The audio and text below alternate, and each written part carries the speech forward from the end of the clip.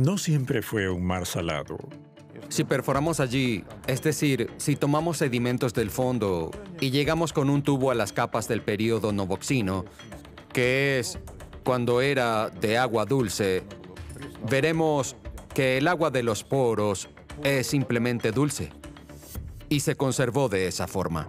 Muchos lo consideran el centro del diluvio universal. El agua fluía en esta cascada a un volumen de 50 kilómetros cúbicos por día. Esto significa que el nivel del agua subía 15 centímetros diariamente. Los antiguos humanos que huían de este diluvio pudieron haber dado origen a antiguas civilizaciones. Tiene falanges de los meñiques amputadas y una trepanación simbólica en el cráneo. El aspecto de estas personas muestra características europeas muy marcadas, como un rostro perfilado y huesos nasales prominentes. Y sus profundidades están llenas de sustancias mortales. En 1927, cuando ocurrió el terremoto de Crimea, el Mar Negro ardió cerca de Tarkankut como una antorcha de hasta 500 metros de altura.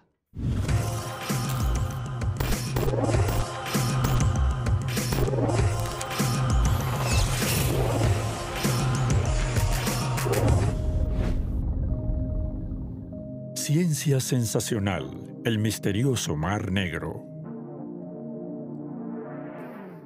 Estamos muy acostumbrados a este mar. Son el sol, las playas, montañas, palmeras, gaviotas, el aire y el agua.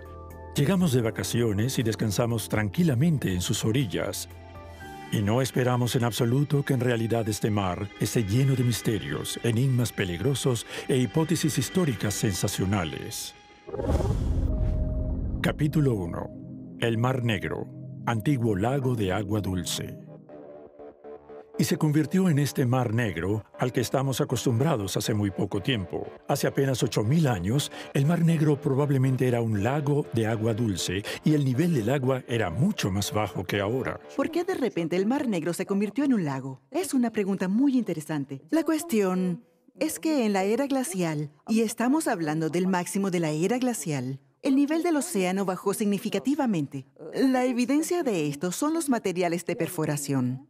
Ah, nosotros mismos realizamos investigaciones con material de perforación en el Mar Negro y en los núcleos de las perforaciones vimos que en ese momento existía tierra en la plataforma.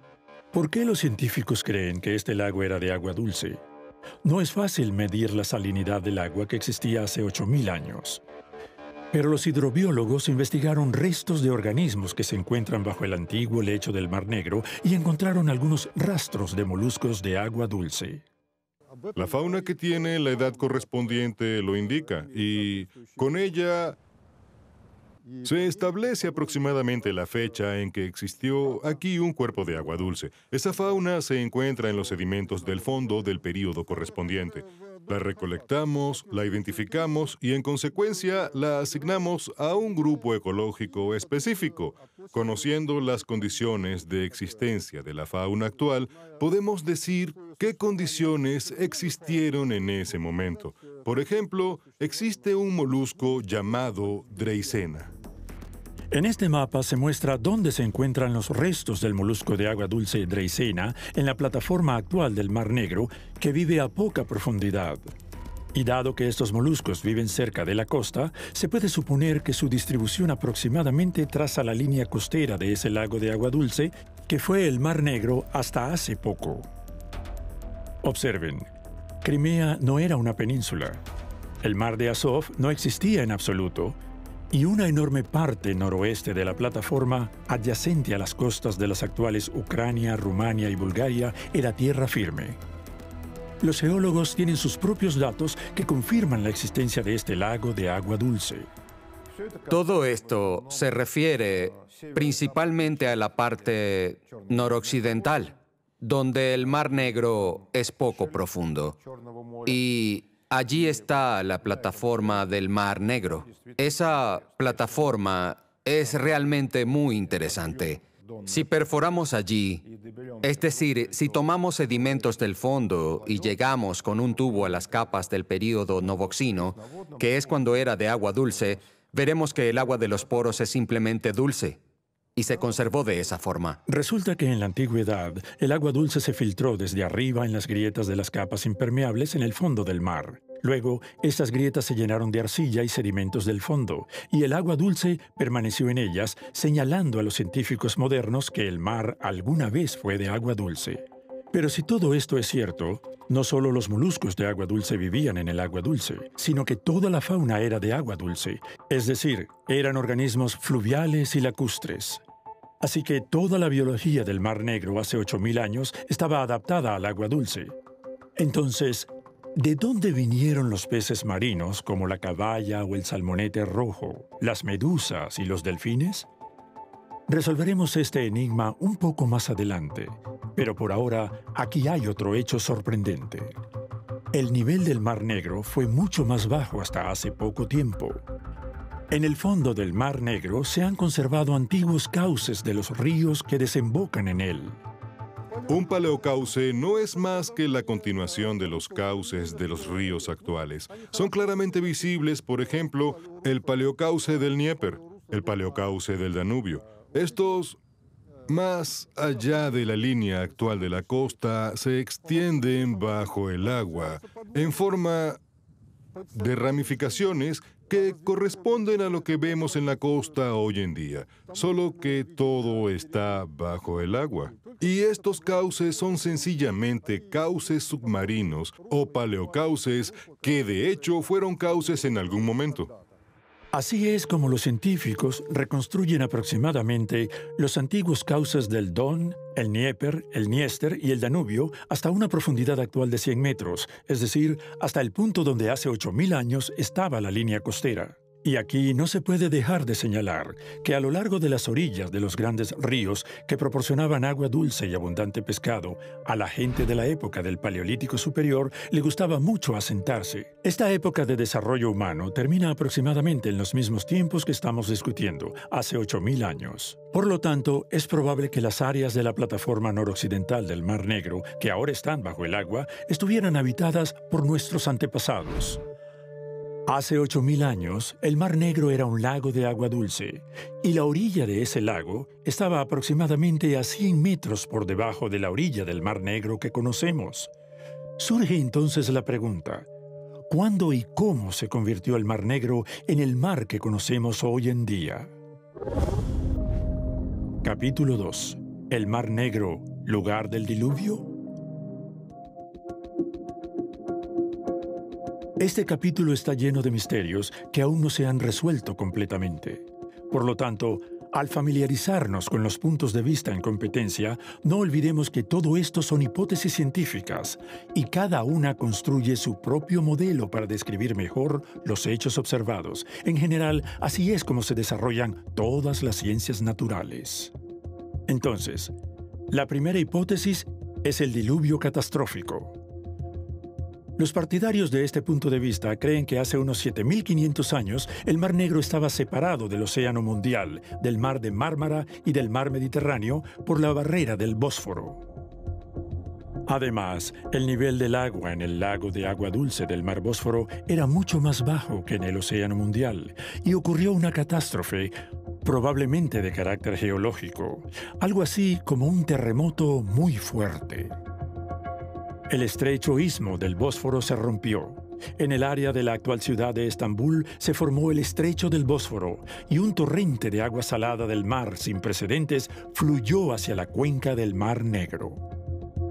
Hace 7.600 años, el nivel del mar Mediterráneo era más bajo que ahora. Y un día ocurrió un terremoto este terremoto rompió una parte de la roca y se derrumbó una cascada. La cascada era tan poderosa como aproximadamente 200 cataratas del Niágara. El agua fluía en esta cascada a un volumen de 50 kilómetros cúbicos por día. Esto significa que el nivel del agua subía 15 centímetros diariamente. Allí en la parte noroccidental, en ese momento crecían cedros, pinos, vivianosos, linces, zorros, Había también un gran pantano y una enorme llanura, y el agua avanzaba 400 metros por día. Esas personas que vivían en el área que hoy en día es Bulgaria o en el área de Turquía, donde habían grandes asentamientos, ahora todo eso está a una profundidad de 95 metros. Todo esto fue inundado rápidamente. La gente huyó de ahí.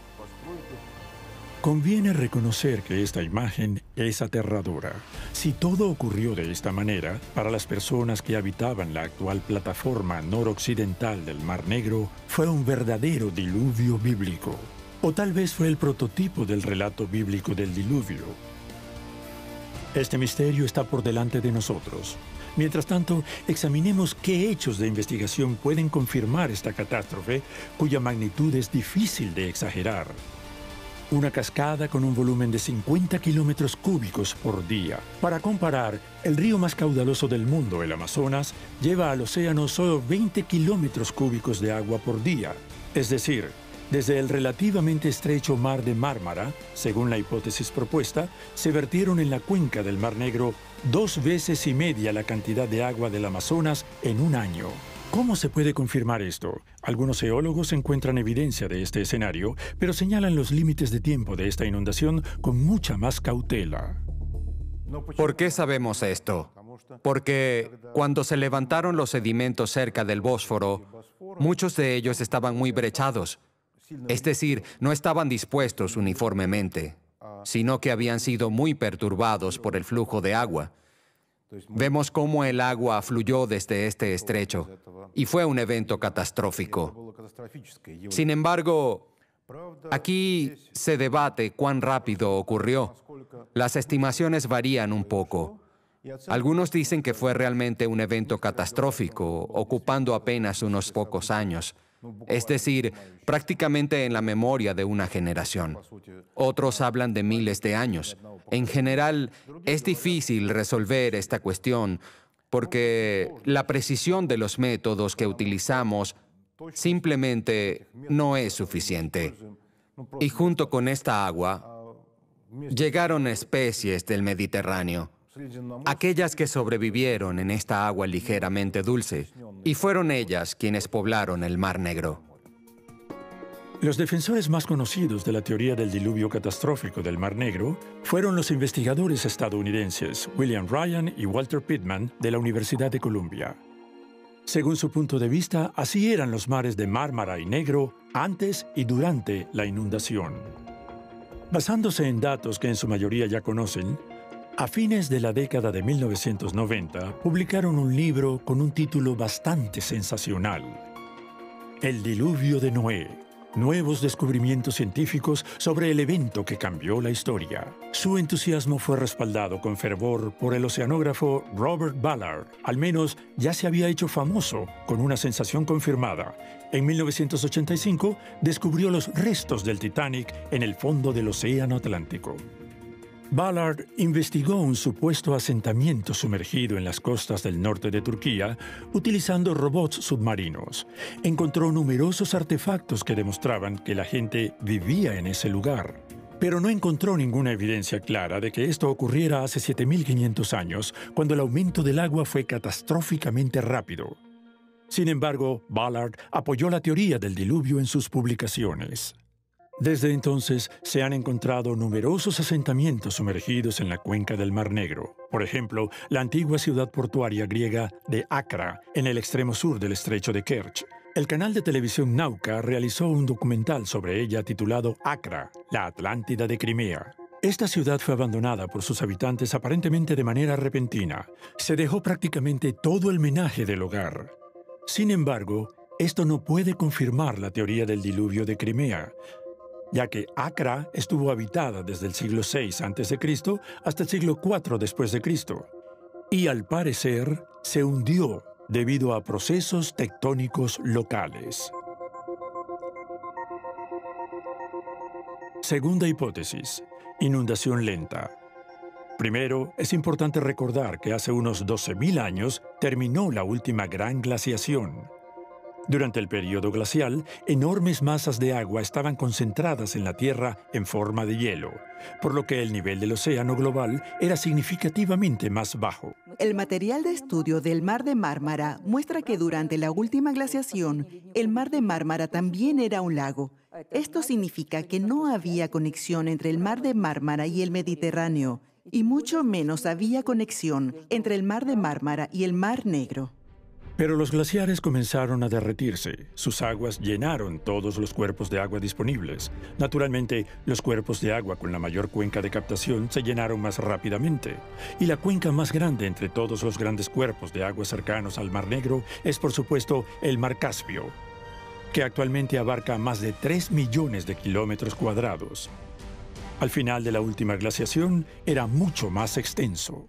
Dado que el mar Caspio es un cuerpo de agua lacustre, su equilibrio hídrico y su nivel dependen de los componentes del balance hídrico. Así, cuando comienza la degradación del último glaciar, lo que significa que el glaciar de la cubierta se está derritiendo y el permafrost ubicado en una vasta área de la llanura de Europa Oriental, también se derrite. El nivel del mar Caspio aumenta significativamente. Este nivel ascendió hasta 45 metros sobre el nivel del mar, mientras que actualmente está a 28 metros por debajo. Cuando el mar Caspio alcanzó el umbral de desbordamiento del Manich, comenzó a descargar sus aguas en el Mar Negro, formando el llamado estrecho de Valinsk, que conectaba el mar Caspio con el Mar Negro. El Mar Caspio vertió su exceso de agua en la cuenca del Mar Negro. Sin embargo, el nivel del Mar Negro no podía subir mucho porque el umbral del Bósforo es bajo, debido a la existencia del estrecho del Bósforo, independientemente de cuánto subiera el nivel del Mar Negro, las aguas se descargaban en el Mar de Mármara y posteriormente en el Mediterráneo. Hay pruebas geológicas de este desbordamiento. En el Mar de Mármara encontramos sedimentos con moluscos y microfauna que habitaban en el Mar Negro. Esto puede resultar confuso para cualquier persona. La primera hipótesis es el rompimiento catastrófico de agua salada del mar de Mármara al Mar Negro. La segunda hipótesis es el llenado del Mar Negro y el Mar de Mármara con agua dulce del Caspio. Ambas hipótesis tienen argumentos experimentales, pero esto es algo que ocurre en la ciencia. La hipótesis del diluvio del Mar Negro de Bill Ryan se basa en materiales de investigaciones en los barcos del Instituto de Oceanología establecidos aquí en Rusia y el supuesto descubrimiento del diluvio hace 8.000 años en el Mar Negro, que luego no se confirmó del todo. Pues resulta que se equivocaron un poco en el tiempo y en el lugar de los hechos. Eso hay que tenerlo en cuenta también. El epicentro del diluvio no fue el Mar Negro como tal, aunque también se vio afectado, sino el Mar Caspio. Esto, por supuesto, desharía todos los estudios y cálculos hechos hasta la fecha sobre el tema. Luego se publicó otro libro, El problema del diluvio del Mar Negro, con un gran número de autores involucrados. En este libro se discutieron los pros y los contras de esta hipótesis. Estos debates continuarán en la geografía por mucho tiempo y es posible que las dos hipótesis contradictorias se unan en una tercera, ya que parten de un hecho aceptado por todos. El Mar Negro, al final de la última glaciación, era un lago de agua dulce con un nivel de agua mucho más bajo que el actual. En resumen, hubo dos eventos muy opuestos. El aumento del nivel del océano global y un evento tectónico. Luego debemos elegir. Si hablamos de un evento catastrófico, es sin duda tectónico. Si hablamos de una salinización gradual del Mar Negro, se debe al aumento del nivel del océano global. Sin embargo, la hipótesis del mar Caspio no explica por qué el mar Negro se volvió salado si ya era un lago de agua dulce y recibió una gran cantidad de agua dulce del Caspio, tanta que se desbordó a través del Bósforo hacia el mar de Mármara. El intercambio de agua a través del Bósforo es muy complejo. Afortunadamente, los científicos pueden observarlo hoy en día. Estas observaciones muestran que en la parte superior del Bósforo, el agua menos salada del Mar Negro fluye hacia el Mediterráneo, mientras que en la parte inferior, el proceso es inverso. El agua más salada del poco profundo mar de Mármara se desliza hacia la cuenca profunda del Mar Negro. Hay dos corrientes, una hacia un lado y otra hacia el otro. Sin embargo, la corriente desde el Mar Negro es obviamente mayor, ya que en él desembocan varios ríos, que aportan más agua de la que se evapora de la superficie del Mar Negro. Pero el agua que desemboca es dulce, mientras que la que sale es salada. Esto significa que se mezcla un poco y arrastra consigo parte del agua salada. Como el agua salada es más densa, debe reemplazar el agua que se transporta a través del mismo estrecho. Capítulo 3. El diluvio del Mar Negro. ¿Dónde se fueron las personas?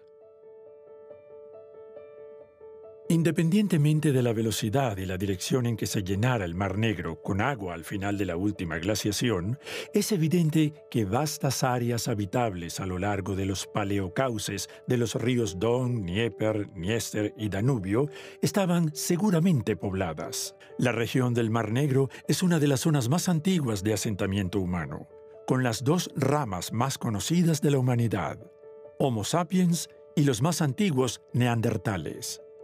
Hay muchos yacimientos en el norte del Mar Negro que datan del Paleolítico Medio, el Paleolítico Superior y el Paleolítico Final. Es decir, esta región fue ocupada por los antecesores, o más bien los predecesores, de los neandertales y sapiens.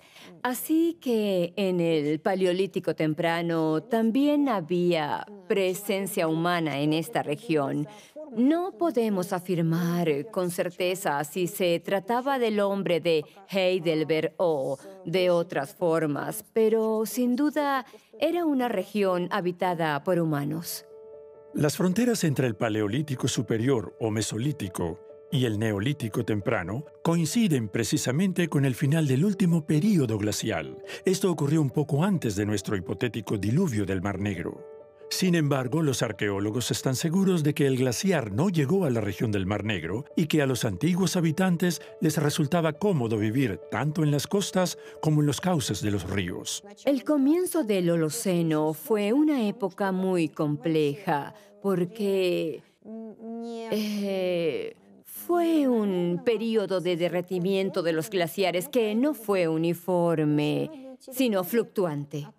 Muchas áreas se volvieron inhabitables. Sin embargo, la región del norte del Mar Negro, especialmente las áreas con algunas elevaciones, continuó siendo habitada, fue nuevamente eh, poblada.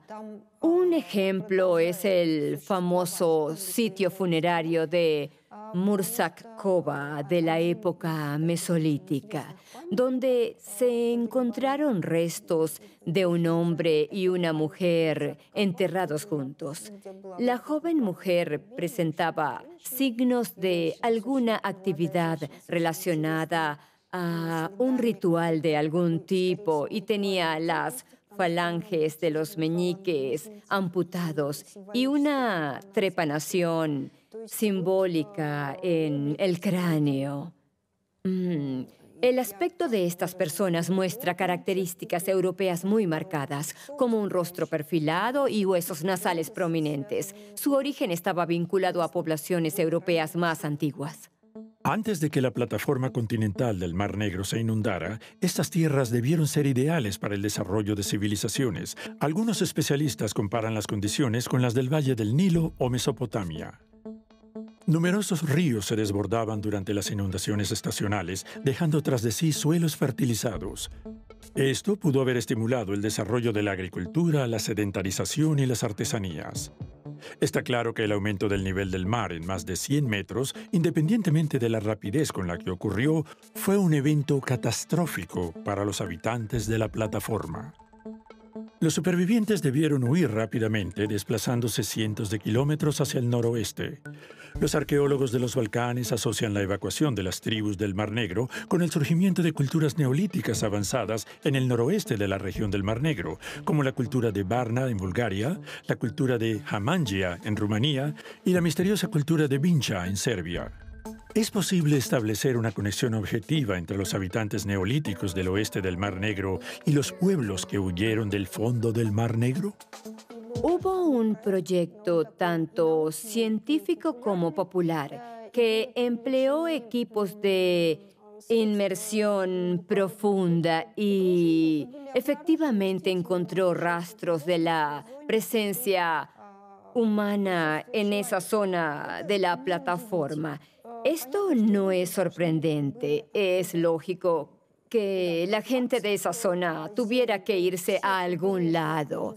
Y todas las costas, eh, debe decirse que especialmente para el neolítico, las orillas de cuerpos de agua dulce eran lugares predilectos para asentamientos humanos. Así que, en teoría, el área más afectada fue el oeste del Mar Negro, donde predominan las áreas bajas y planas. Grandes extensiones de tierra se sumergieron bajo el agua. Sin embargo, no se puede afirmar que durante ese tiempo en el sur o el este de Europa se observe una ola migratoria basada en datos paleoantropológicos. Mm, creo que es prematuro hacer afirmaciones definitivas porque aún no tenemos un sistema de pruebas bien fundamentado ni materiales procedentes de debajo de esta masa de agua. Los arqueólogos subacuáticos se encargan de estudiar los artefactos procedentes de las profundidades. Trabajan muy activamente en el Mar Negro, cuyo fondo es como una enorme caja fuerte en la que cada época, civilización y pueblo han dejado algo. Recuperar estos artefactos es una tarea extremadamente difícil. De los materiales arqueológicos, el más común es la cerámica, que es resistente al entorno agresivo del agua marina. Sin embargo, también encontramos estructuras que no podemos levantar, como edificaciones completas aunque no hemos procesado todo el material arqueológico. Por ejemplo, hay restos de los siglos 8 y 9. También hemos encontrado monedas de periodos más recientes en esta temporada de búsqueda subacuática. Los arqueólogos subacuáticos encuentran principalmente restos de la antigüedad tardía y la Edad Media y no existe hoy en día un plan científico sistemático para explorar las costas y valles de ríos sumergidos bajo 100 metros de agua. Una hipótesis es que el proceso del diluvio fue catastrófico, pero también pudo ser un proceso prolongado. No podemos afirmarlo con certeza. En nuestras investigaciones subacuáticas encontramos objetos como herramientas de piedra de periodos prehelénicos. Estas investigaciones deben ser interdisciplinarias, involucrando a oceanólogos, paleobotánicos y arqueólogos en conjunto. Es algo que se puede y se debe hacer. Está claro que el costo de estas investigaciones es comparable al de una planta nuclear. Probablemente un consorcio internacional debería llevarlas a cabo, ya que todo está cubierto de sedimentos y oculto en el fondo a 100 metros de profundidad. Hacer una excavación al azar y encontrar un fragmento de cerámica mesolítica es menos probable que encontrar una aguja en un pajar. Capítulo 4. ¿El Mar Negro como escenario del diluvio universal? Todo parece muy lógico, la cuenca del Mar Negro está cerca de los focos de civilización más antiguos. Asia Menor, el Medio Oriente, las islas del Mediterráneo y Grecia, Mesopotamia e incluso Egipto no está tan lejos. La noticia de la rápida inundación de la cuenca habitable del Mar Negro debió haberse difundido por toda la región en pocos cientos de años, lo que en la época neolítica es casi una velocidad telegráfica. Miren qué similares son los mitos. La historia bíblica del diluvio es bien conocida. Y es notable que el monte Ararat, donde según la tradición llegó el arca de Noé, está muy cerca del Mar Negro. Hay una historia similar en la mitología griega, como el diluvio de Deucalión, cuando Deucalión y su esposa Pirra navegaron en un cofre durante nueve días y noches sobre la tierra inundada y desembarcaron en el Parnaso. El relato sumerio del diluvio es casi idéntico al bíblico. El rey Siusudra construyó un gran barco para salvar a su familia y a todos los animales. Después de seis días de navegación, llegó a la cima del Nisir, que los sumerios identificaban con el Ararat. Parece que los autores de la hipótesis del diluvio del Mar Negro encontraron un prototipo histórico real para estas leyendas. Pero surge la duda. ¿Es realmente un gran descubrimiento? No, por muchos motivos. En primer lugar, ese diluvio ocurrió alrededor del sexto milenio antes de Cristo, mientras que los textos más antiguos que describen el diluvio datan del cuarto milenio. Un argumento más significativo es que en las excavaciones de las ciudades de Mesopotamia se encuentran capas de sedimentos depositados por inundaciones, lo que sugiere que las inundaciones reales que podrían haber inspirado el mito ocurrieron en periodos históricos importantes. Cabe recordar que las leyendas sobre un gran diluvio están presentes en casi todas las culturas del mundo. Existen en India, China, América Central y finalmente incluso entre los aborígenes australianos que se cree que colonizaron su continente hace unos 50.000 años. Es poco probable que enviaran un mensajero para investigar los problemas de inundación en el Mar Negro. ¿De dónde viene entonces esta universalidad del mito? ¿Hubo un diluvio que afectó a toda la humanidad? Hay una hipótesis al respecto. El último período glacial afectó prácticamente a todo el planeta. Aunque no hubo glaciaciones en todas las superficies terrestres, todas las montañas estaban cubiertas por poderosos glaciares que comenzaron a derretirse rápidamente hace unos 12.000 años. Nos propusimos comparar los datos de la paleogeografía con los textos de la Biblia, el Avesta, el Rigveda y otros libros sagrados. Resultó que coinciden y se confirman mutuamente. Esto significa que los datos de las ciencias naturales y los datos de estos, digamos, mitos concuerdan a la perfección. Se revela que la memoria humana se extiende hasta unos 12 o 16 mil años atrás, y todo esto se mantuvo hasta que se registró por escrito. Fue entonces cuando propuse una hipótesis que no llamé diluvio universal, ya que es muy tajante, sino algo llamado la era de las inundaciones extremas.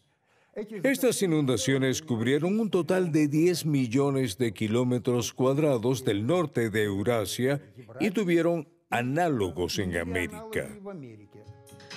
Por lo tanto, la conclusión científica preliminar es la siguiente. El diluvio del Mar Negro, independientemente de la velocidad a la que ocurriera, es la parte final de un diluvio casi universal que cubrió la Tierra al final del último período glacial. Pero los misterios no revelados del Mar Negro no terminan ahí.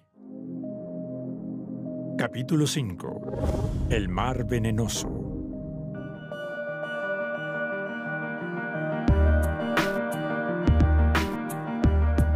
El Mar Negro es muy profundo. Su profundidad máxima supera los 2.200 metros.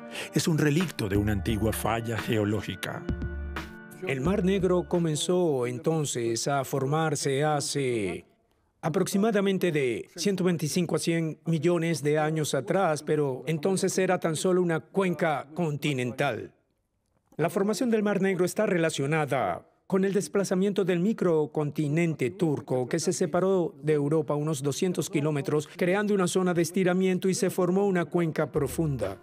Y a profundidades inferiores a 150 metros, este mar es prácticamente muerto. En toda la columna de agua hay sulfuro de hidrógeno disuelto, un gas que da a los huevos podridos su inconfundible olor. En este sentido, es un cuerpo de agua único, aunque peligroso, ya que por debajo de los 150 a 200 metros no hay oxígeno. El Mar Negro es el objeto más único y conocido, debido a que es relativamente pequeño y muy profundo. Incluso hay un término científico para todo esto. La euxinización, que es la contaminación por sulfuro de hidrógeno. Euxino es el nombre griego del Mar Negro. Y nuevamente surgen disputas científicas, esta vez sobre el origen de esta contaminación por sulfuro de hidrógeno. Existe la teoría de que es una consecuencia del catastrófico llenado de la cuenca del Mar Negro por una cascada de agua salada a través del estrecho del Bósforo, que podrían haber ocurrido hace 7.600 años. En vastas áreas que fueron inundadas rápidamente, había una gran cantidad de organismos vivos que murieron y comenzaron a descomponerse rápidamente. ¿De dónde viene el sulfuro de hidrógeno? ¿Qué ocurrió? Simple, se llenó de agua salada. ¿Y luego qué? Según la hipótesis de Ryan y Pittman, biólogos estadounidenses de la Universidad de Columbia, en su libro El diluvio de Noé, o el evento que cambió la historia, cuando Toda esa agua salada finalmente llenó la cuenca, que antes era de agua dulce, como hemos visto.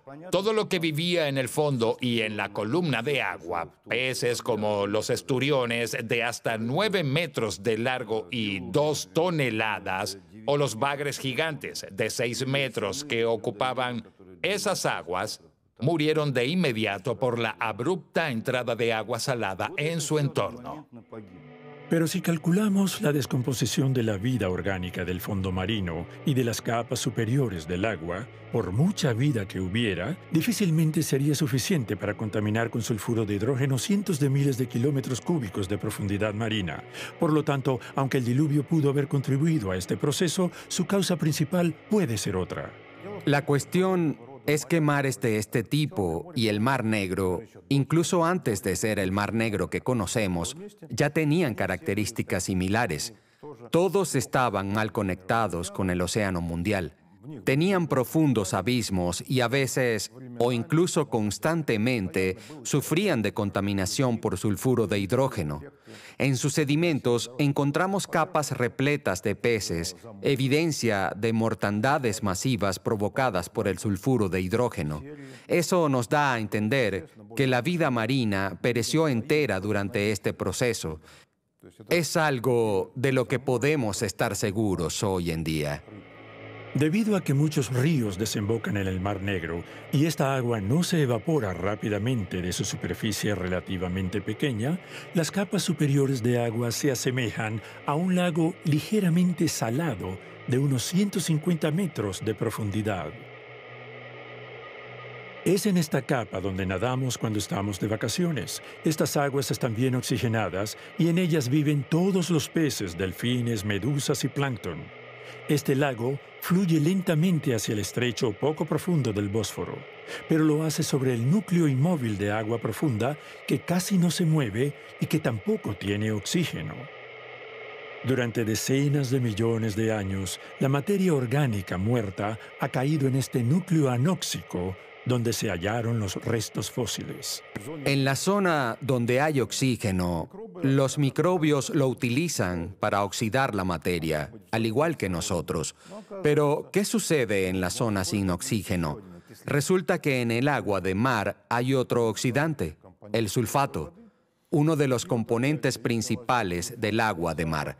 Los microbios pueden usar el sulfato para oxidar la materia orgánica en condiciones anaeróbicas, aunque no es tan eficiente como la oxidación con oxígeno. Es un proceso que sigue ocurriendo ininterrumpidamente, resultando en la formación de sulfuro de hidrógeno. Aunque las concentraciones de sulfuro de hidrógeno en el Mar Negro no son muy altas, el máximo es de unos 10 milimoles por litro. Esta cantidad es suficiente para disolverse bien en el agua de modo que si la subimos a la superficie no liberará ningún tipo de gas venenoso, solo olerá. Nuestro sentido del olfato es muy sensible al sulfuro de hidrógeno. más que cualquier instrumento científico que podamos adquirir en un laboratorio especializado. Por eso creo que las personas están totalmente a salvo de que un evento como le sucedió a la vida marina de aquel momento se replique en ellos de alguna manera. Sabríamos que algo anda mal. Precisamente debido a la sensibilidad del olfato humano al sulfuro de hidrógeno, si esta capa subiera a la superficie, los balnearios del Mar Negro dejarían de existir. Nadie querría nadar en medio de un fuerte olor a huevos podridos. Afortunadamente, nos separan unos 150 metros de agua agradable, limpia, no muy salada y oxigenada. Pero ya hay un precedente de algo así. Según los recuerdos de algunos testigos del terremoto de Yalta de 1927, el mar ardió en llamas esa noche y el agua desprendía un olor insoportable a huevos podridos. Es decir, cuando el movimiento tectónico agitó este cóctel en capas, las burbujas del sulfuro de hidrógeno comenzaron a ascender, pero el sulfuro de hidrógeno casi no arde. ¿Qué ardió entonces en el Mar Negro la noche del 11 al 12 de septiembre de 1927? Hoy en día tenemos la respuesta. El Mar Negro emite constantemente metano desde el fondo, el mismo gas que arde en nuestras cocinas. Existe un mapa de la distribución de las emisiones de metano en el Mar Negro. Parte de este gas llega a la atmósfera e influye en el efecto invernadero global. En condiciones normales, esto no es ecológicamente peligroso, pero existen casos en los que este metano es muy peligroso. Por ejemplo, en 1927, cuando ocurrió el terremoto de Crimea, el Mar Negro Ardió cerca de Tarkankut. Ardió como una antorcha de hasta 500 metros de altura. Esto está completamente registrado. Yo mismo, investigando la costa de Georgia, encontré un lugar muy particular en Ochamchira, un llamado escape de metano y publiqué este trabajo en los informes de la Academia de Ciencias.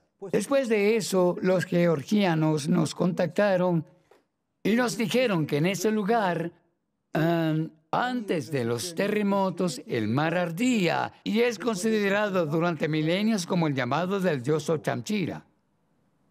Así es. existen estimaciones y las hemos hecho de que una gran liberación de metano en el agua causaría la pérdida de flotabilidad de los barcos. En el Triángulo de las Bermudas se considera que puede haber liberación de metano. Calculamos que si hay 30 litros de metano por metro cúbico, la flotabilidad de los barcos disminuye. El metano se libera desde el fondo del mar y también existe en forma de gas hidrato, que se asemeja a una sustancia gelatinosa. Ahora imaginemos que en el agua envenenada con sulfuro de hidrógeno se libera metano venenoso. ¿Es posible imaginar alguna forma de vida en este lugar? Así, hemos llegado al misterio más sorprendente del Mar Negro. En este entorno dos veces mortal del fondo crecen formaciones parecidas a corales. Las investigaciones incluidas en nuestro departamento han demostrado que las áreas de descarga de los chorros de metano en el fondo en la profundidad contaminada con sulfuro de hidrógeno se forman las llamadas construcciones metanotróficas de carbonato. Son como corales de hasta 4 metros de altura. Estas construcciones se basan en que las arqueas construyen estas estructuras y el propio reactor en el que se realiza la quimiosíntesis es la propia estructura. En los mares donde hay escapes de metano, pero no hay sulfuro de hidrógeno, estas construcciones no existen. Es decir, debe haber tanto sulfuro de hidrógeno como metano. Así es como estas arcas viven. Luego de todo lo visto aquí, esperamos que no hayan dudas sobre el por qué nombramos a este documental así. El Mar Negro, el más simple de todos, resultó ser realmente el mar más misterioso de nuestro planeta.